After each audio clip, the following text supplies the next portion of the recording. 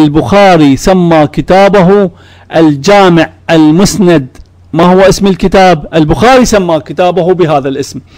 الجامع البخاري سماه الجامع المسند الصحيح المختصر من أمور رسول الله صلى الله عليه وآله وسلم وسننه وأيامه.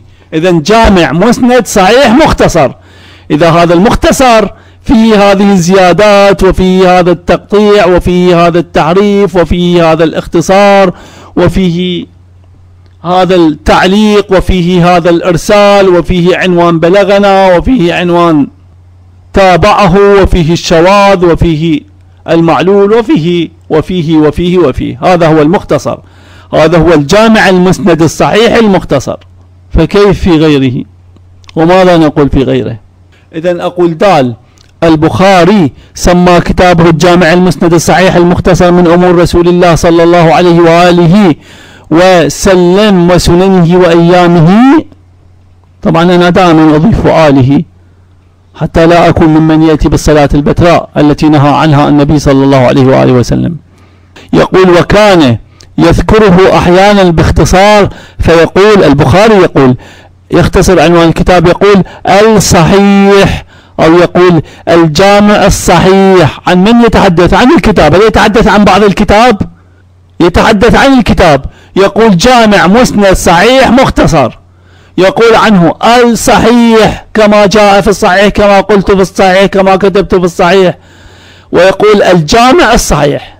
إذا يوجد عنده تفصيل بين حديث وآخر بين مرسل ومعلق؟ لا يوجد.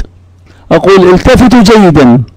أنه لم يقيد ولم يخصص كتابه بالأحاديث بل العنوان واضح في شموله للأحاديث وغيرها بما يشمل أمور الرسول صلى الله عليه وآله وسننه وأيامه. التفت قال جامع مسند صحيح مقتصر من أي شيء؟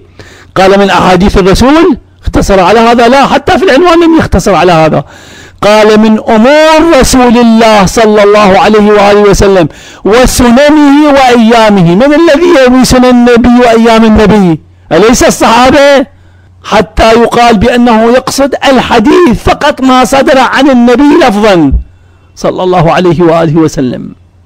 ما هذا الهراء والفراغ والسفاهة؟ دفاع سقيم دفاع غبي فارغ. التفت إلى العنوان. ويعتبر نفسه عالما ويقول يقولون بأنه عالم. حتى لا يفهم العنوان. عميت عينك عميت عيونكم وصمت أسماعكم وطبعت قلوبكم. يقول جامع مسند صحيح مختصر من أمور أمور.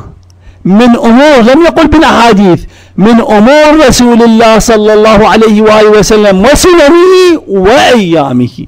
إذا أقول التفتوا جيدا أنه لم يقيد ولم يخصص كتابه بالأحاديث بل العنوان واضح في شموله للأحاديث وغيرها بما يشمل أمور الرسول صلى الله عليه وآله وسننه وأيامه ومن الواضح جدا عند كل ذي عقل أن هذا لا يتحقق ولا يكتمل بالأحاديث المرفوعة عن النبي الأمين عليه وعلى آله الصلاة والتسليم.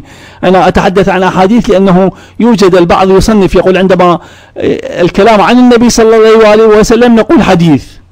وما يأتي عن الصحابة ينقل شيئا عن الصحابة فما يأتي عن الصحابة نسميه بالرواية لا نقول عليه ولا نطلق عليه عنوان الحديث هذه لا مشاحة في الاصطلاح. إذا ومن الواضح جدا عند كل ذي عقل أن هذا لا يتحقق ولا يكتمل بالأحاديث المرفوعة عن النبي الأمين عليه وعلى آله الصلاة والتسليم. بل تشمل ما يرويه الصحابة من أمور وسنن ومواقف وأيام وأيام خاتم الأنبياء والمرسلين فيشمل الأحاديث المرفوعة للرسول عليه وعلى آله الصلاة والتسليم كما تشمل ما أسند إلى الصحابة رضي الله عنهم فلا يتم التفصيل بين مرفوع ومقطوع وغير ذلك كما أن العنوان واضح جدا في إشارته للكتاب لكتاب البخاري بجملته فلم يفصل فيه ولم يقيد ولم يخصص ببعض دون غيره. فلا يجدي التفصيل بينما جاء تحت عنوان بلغنا أو تحت عنوان تابعه أو شاذ أو مرسل أو غير ذلك من عناوين.